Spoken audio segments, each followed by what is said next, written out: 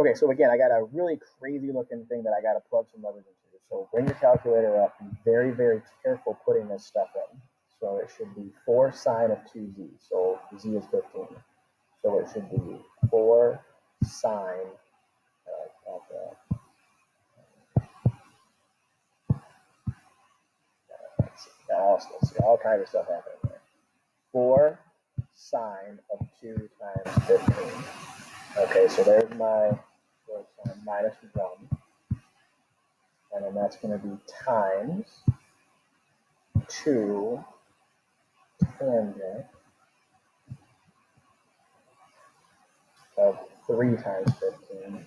3 times 15 plus 1. So everything in the top very carefully put in there. And the bottom, x squared, which is 12, and y squared, which is 8. So 12 squared times 8 squared.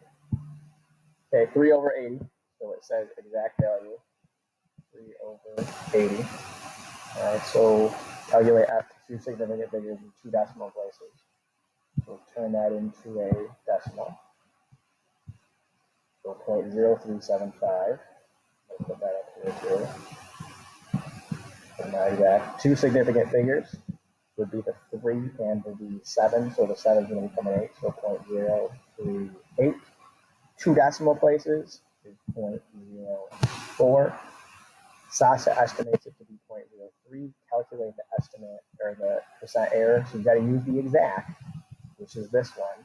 So it's 0.0375 minus 0.03 divided by 0.0375 as the value brackets times 100.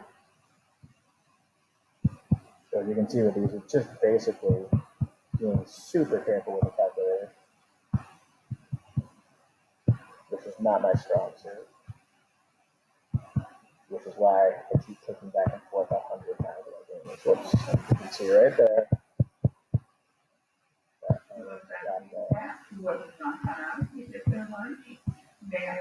Uh, so that's 20% we go out there, they'll be in for another 10